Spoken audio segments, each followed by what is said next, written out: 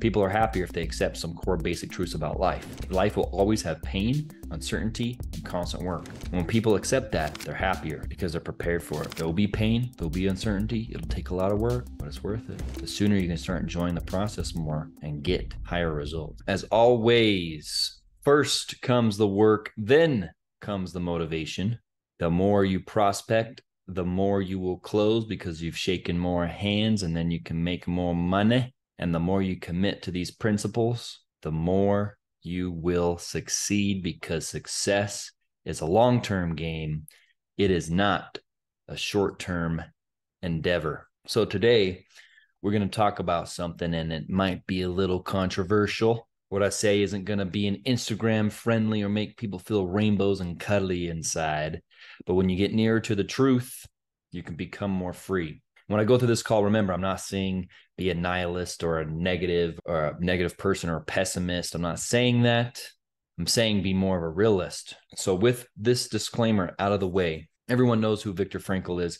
He wrote Man's Search for Meaning, one of the most popular books. He was a Holocaust survivor, and there's you know people that went through all that, and they talked about what they saw. And one of the things people observed that when others were going through the Holocaust, the big optimists were the ones that died first. Sounds a little crazy. They either killed themselves first, like they're just run into the electric fence or whatever. They lost hope quicker. They struggled the most. And it sounds weird, right? Because we're told optimism, yeah, yeah, it's supposed to be good, be an optimist, be positive about everything. But here's the thing the optimist would say, We'll be free. By Christmas, we'll be free. Christmas would come and they'd still be in hell. We've talked about the pendulum effect in sales before, right? Like people swing back and forth. So if you get them too amped and then you leave the cell, they'll swing negative. So you want to leave them neutral, right? Same thing within life. Who do you think felt worse after Christmas? The ones that thought they would be free for sure, or the ones like, hey, maybe we might still be here? Who felt worse? It was the optimist. And again, I'm not saying be negative, but they wanted to believe in this fantasy. They held on to these grandiose ideas and they just let down when it didn't come true. It's a bit crazy, right? Like, where the hell is he going with this? But everything we've been told seems like optimists win. And again, I'm not saying be pessimistic. I'm not saying be negative. You want to be positive. You want to have optimism. I'll get to my point a bit later, but just hold on. But I had a similar experience. When I first got Lyme, I'd always get so excited.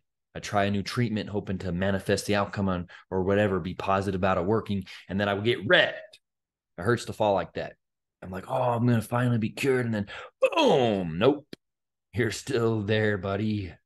Right after a while, I had to start to learn to stay even kill. I would try stuff, but I wouldn't be so attached to the result. Otherwise, I just get dangerously low. I'm talking dangerously low. Let's just be real here. And throughout all that, I had to develop what I called realistic thinking. Just like the Holocaust survivors, I wasn't going to be pessimistic, but I was going to be realistic. I wasn't going to lose hope and say it'll never get better. Might as well drink some vodka and smoke some meth, right? I, I don't know. Those two things go together, but no, that's not it. But it was all. It wasn't this new treatment. So sounds so great. This is the best. I'm going to be cured in a few weeks. Woo, no doubt. Dead ass or whatever people say. No, because that fall hurts too much. Because if it doesn't work, you're coming down, right?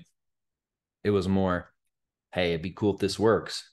Might not be cool, but it might not. Either way, I'm prepared for this battle long term if necessary. It takes me one year, five years, 10 years. I'm committed. See the difference?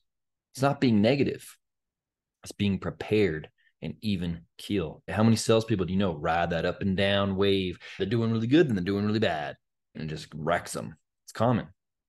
So here's the other thing how many people get into solar, hear about someone making all this money, and then they, they've only been doing this for a month, two months, three months, and then they're bummed they're not making $50,000 a month, right? Did that person come in with the right expectations? Are they being realistic? Or are they being like that optimist that thinks they're going to make 50 grand by week two? It took me a straight year to start selling over 20 deals in a month. And that was working 9 a.m. to 9 p.m. every single damn day for an entire year, like probably obsessed to an unhealthy, weird level. So, why do you expect to have instant results, especially if you've only been knocking 200 doors a week? You're not even knocking at least 500 a week. You've been doing that for a month. You're not just going to make all this crazy money. It takes time. You don't be negative about it, but this is a full time gig and there's no opportunity that's just going to hand you out 50 grand a month without paying your dues. Don't be negative about it. But don't be all crazy positive like you think you're just going to make all this money and you're like, oh, I'm not making 50 grand a month. I knocked thousand doors this month. Where why am I not rich? It doesn't work like that. I know there are a lot of people making really good money in solar.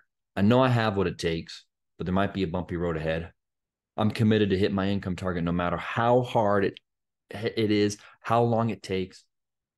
If I get there fast, sweet. But if it takes me a while, that's cool too. See the power in that? That's different. Mm, that's different. I, I feel it even just saying it. It isn't negative. It's not far from reality, but it's strong and it's committed. Same thing with referrals. If you show up and think, oh, yeah, referral appointment, it's going to be so easy. And then they open the door, they go, um, so we're not really interested. Uh, we don't plan on signing anything today. We have two other quotes coming, but sure, come tell us what you got. Now what happens? Oh, no. Oh, my God. I would rather approach every referral like it's going to be the hardest sell I ever do. I got all my routines. I'm framing my confidence before I get there. I'm prepared. I'm going to go in the ad. I'm going to not skip a single step. And then guess what? They're easy, sweet, but they're hard, perfect. That's what I was prepared for. See the difference? The one sets you up to swing hard the other way. The other one's prepared for any circumstance. Oh, nice. It was easy. they're ready to sign. The referrer sold them. Cool. Here we go. But hey, it's hard. Yeah, I was ready for that. That's the difference. By the way, to prove you watch this, uh, email info at directsolar.energy and in the subject line put door to door is easier than the Holocaust. Then we know he actually watched it. All right. In the book, The Tools, it's now popular because Jonah Hill um, did a whole Netflix show about the therapist, right? He says people are happier if they accept some core basic truths about life. Life will always have pain, uncertainty, and constant work. And when people accept that, they're happier because they're prepared for it. If you want a pain free life, well, sounds paradoxical, but there's a lot of pain associated with avoiding pain. I've caused myself more pain probably by trying to avoid the pain than the pain actually was painful. Knocking doors might be painful, so you avoid it. But the whole day you feel tense and uneasy because you can't really relax because you know you're supposed to be knocking doors. You have stuff on your to do list. So the whole day sort of sucks, anyways. And then you're not making any money and then you can't pay your bills. Well, that's painful. But if you learn to love pain, you go and face those doors. You want the hard no. You feed off of it. Well, guess what? That pain isn't so painful and it's actually kind of fun, right?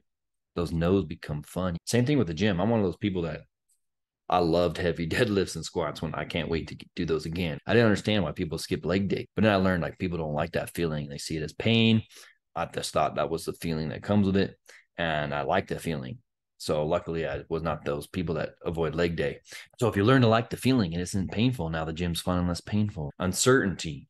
If you want certainty, you're going to cause yourself a lot of stress because, especially today's world, we got AI about to take over our freaking souls. There's no certainty. I used to battle severely, especially in sales, because really a lot of the process can be out of our control especially when you're closing a deal for a new person that if you don't close it, they can't pay their rent. My baby's on the way. Uh, if you don't close this, I'm not paying the hospital bills. You're like, oh my God. It'd be nice to have some certainty, but you don't. I can control my behavior, but I can't 100% predict the outcome of what will happen. So there's two things to realize from that I have learned for myself for the uncertainty of sales. Whenever I'd show up to an appointment, I'd tell myself, cool, I got a 70% chance of making 4,000 bucks. What an amazing opportunity. I'll control what I can control. I'll swing that bat. I'll give this my absolute best. And if I do that, then the results will fall where they may. Second thing is to learn to love it because the thrill of uncertainty is exactly what makes this exciting. It's not fun if you just know like they already signed up and you just have to go do another signature and just go and you 100% get the sale every time. It's fun because you walk in, you get hit with all sorts of stuff. We're not signing today. We don't want solar. Boom, boom, boom. You start doubting yourself. Oh my God, I don't know if I'm going to get this. And you pull through, and then at, boom, I, I got the deal, right? And you leave. That's why it's fun. The uncertainty is why it's fun. So just learn to love it. Last is constant work. Once you build a pipeline, you still need to maintain it. Anything nice that you buy, you have to maintain it. If you make a ton of money and buy investments, there's going to be work to manage those investments. No matter what, there's always going to be work. There's always work in life. And once you accept that, you can learn to love the work. I didn't feel like making this video. As soon as I started doing it, oh, I, I liked it. I don't feel that good today, but I know if I avoided doing this, it would just be more painful than to just do it because the work is is always there. When you learn to love the work itself, well, now you're enjoying what you're doing. We spend a lot of our time working, if not most of our time, or if you're me, like your whole life. But if you're enjoying what you're doing, you're enjoying your your life, right? And that's the whole goal anyways. You want to enjoy yourself. And if you learn to enjoy the work, well, now you're enjoying your life. What I'm getting at with this whole thing is the more you accept reality, the better life paradoxically becomes versus trying to like make it something else or be all optimistic and avoid the pain. When you can look direct sales right in the eye and you see it exactly for what it is and you face it head on and you know what's coming, it's going to be a lot smoother, right?